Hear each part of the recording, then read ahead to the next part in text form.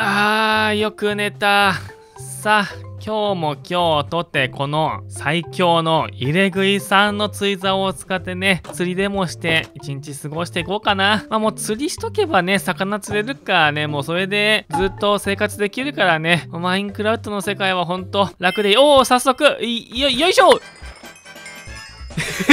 え、ちょ、なんかすごいものが釣れるのようになってる。なんか変な音が鳴った。この動画は2019年年末からコツコツ書き溜めてきた動画のネタを2年経った今、今更少しずつ消費していくという動画です。他の実況者の方とネタが被ることが多々あると思うけど許してね。はみさんこんにちは。今回もマインクラフト実況やっていきたいと思います。今回遊んでいくデータパックはこちら。最強の釣り竿、釣り竿じゃないな。最強のアイテムが釣れる世界ということでね、あの さっき見た通り、私もびっくりしたんだけどね、さっき見た通りね、あの、1個だけ釣れるのかなと思いきやね、もう大量にすごい量のアイテムが釣れるみたいです。もう釣りだけしとけば多分それだけでエンダードラゴン討伐できると思うけども、今回はね、まあ、エンダードラゴン討伐チャレンジ、またもやね、やっていこうかなと思います。果たしてこの木を掘る作業が必要なのかどうか いらななそうだけどね、こんな火を掘る作業なんてね。だって、釣りさえすれば、まあ釣りをするためにはね、あれだ、釣り竿を作んないとかんからね、そのために飼っていく的なことは大事だかもしれない。そしてあそこに村があるね。この村って丸石回収できない村だよね。うーん。丸石が回収できた方がありがたかったけども、まあまあまあまあまあ、流れとしては、まず、小麦やらこういうアイテムを使って、コンポスター作って、えー、農民たちとね、取引をします。そしてその後に、あー、猫が可愛い。そその後に、樽を作って、えー、樽で、えー、釣り人を作って、釣り竿をゲットする作戦的なやつ。それで行きましょう。えーっと、君らみんなニートだよね。あ、君らニートだね。ニートがたくさんおられるので、あんまりチェストがないし、ご飯も全然ないじゃん。ああ、わあわあわあ。ご飯が全然ないのはちょっといただけないね。この村ってコンポスターないんだね。え、これだけ？これはちょっと、やばいかもしれない。こんなんで果たして、エメラルドを取ることができるのか？だったらもうこれ地下潜って、雲の糸を探してくる方がもしかしたら早いかもしれんが。まあいいや、とりあえず、やるだけやってみよう。えー、ってことで、作業台を置いて、半ブロックを作って、コンポスターを作って、ついでに、樽も作っちゃって、て、これ回収して、じゃあまずはあの子。今目の前にいるあの子。あの子の目の前、どこ行くね？あー、こっちでいいや。はい。はい、はい、はい。これで、お前がなるんかい あぐじゃ、違うんだ。そうじゃないんだ。私は小麦だ。小麦を、うわ、違うのよ。小麦が欲しいのよ。でもこれさ、小麦だとしてもさ、エメラルド1個にしかならん気がする。だって小麦36個しかないもん。え、誰が、誰が、誰がなの？そんな遠くから、そんな遠くから来るの？すっごい遠くから来るじゃんやる気ママ、あ、やっぱり1個にしかならない。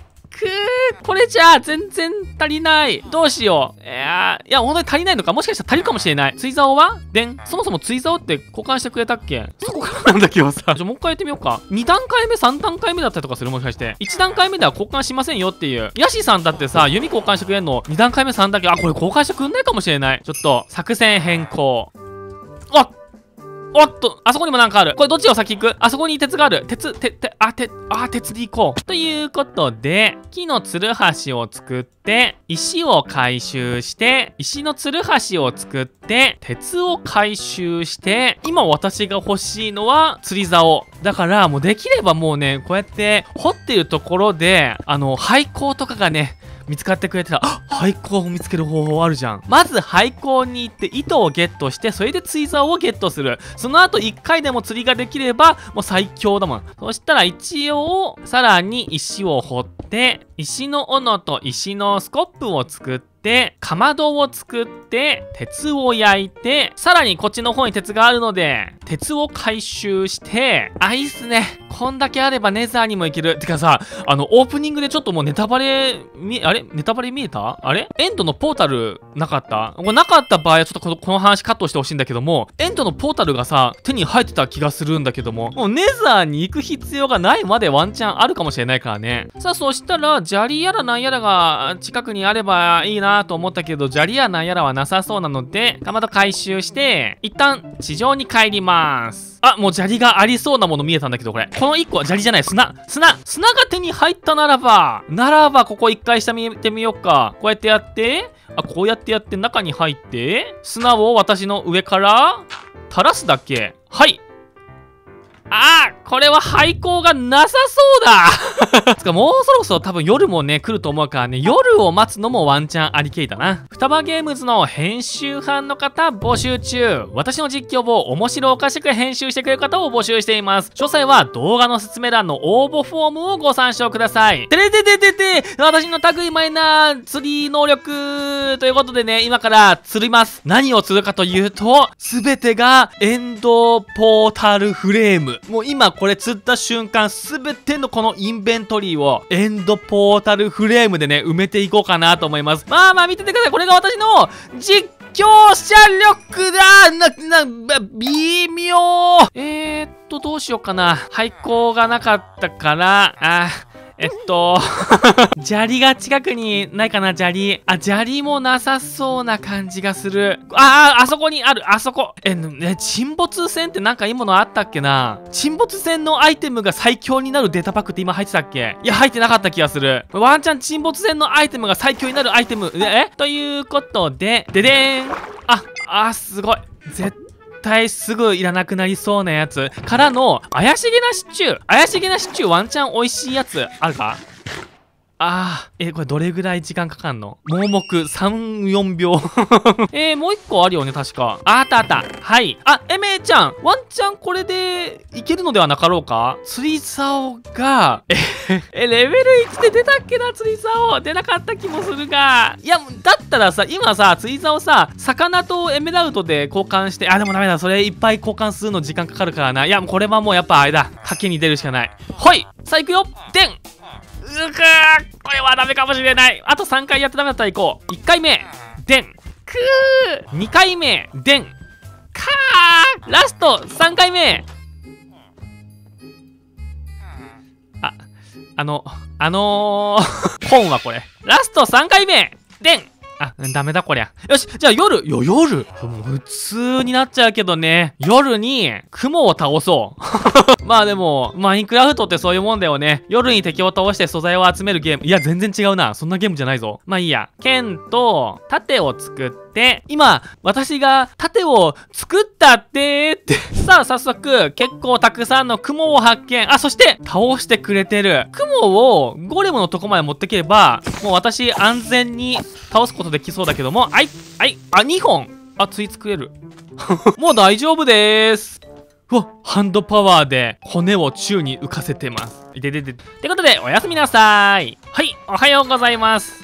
さあ、念願の釣り竿を作って、さあ、ようやく始まる。あ、じゃあここで釣ろうかな。よいしょ。さあ、どんないいものが釣れるのか、もう一回見ちゃったけどね。見ちゃったんだけど、ものすんごいアイテムが今から、うわ、そばいい、そば、パハハハもう、持ちきれてないんだけど。エンチャントの本がもう、な、何の本かもわからんし、これ。え、なにこれ？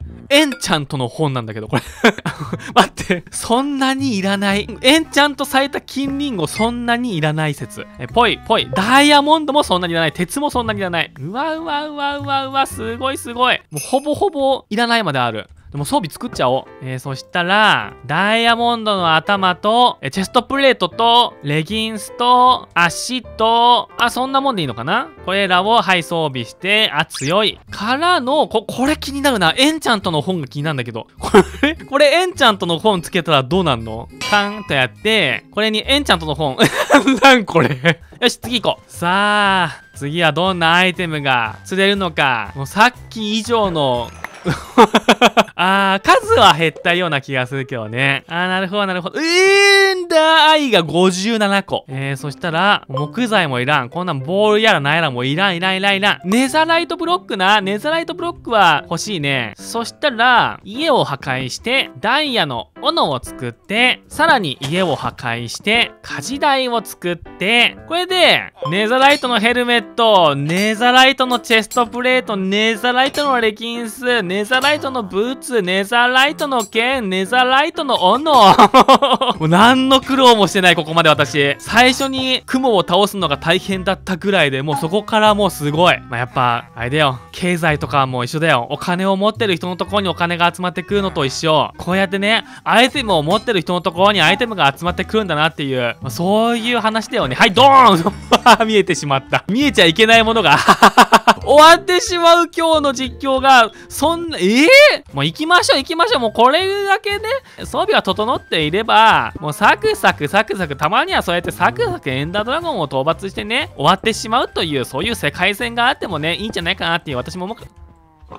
思う、そう思うでしょ、豚さん。豚さん、まあ、牛も豚もね、みんなそう思ってるからね。じゃ、まずは、豚からいってらっしゃい。からの、せっかくなんで、牛もね、よいしょ。牛も、ほいはいあーダメか牛も、そうあ、いってらっしゃい えっと、あとなんかおらんかえー、種持ってる種持ってない。種回収して、ニワトリや。ニワトリさんや。あ、そうそうそうそう。うん、一緒に行こう、一緒に。桃太郎かのごとく、一緒にね、道連れを連れていく。鬼ヶ島に一人で行くのは怖いからね、こうやって、餌で釣って一緒に行ってもらおう ちなみにエンドポータルさ 2×2 とかでも実は開いたりとかしないのかなよいしょよいしょよいしょこれで開いてもおかしくないよね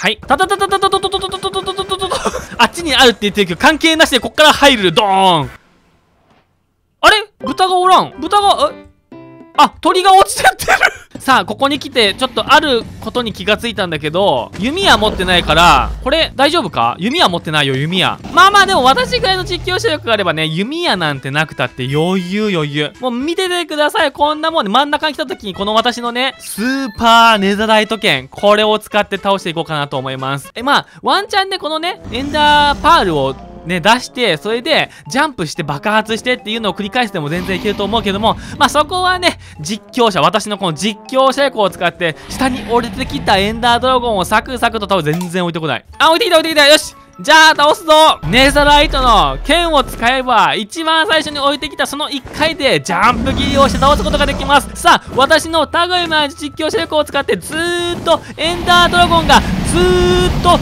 上にこうやって、え待ってそこに？えそこに？えー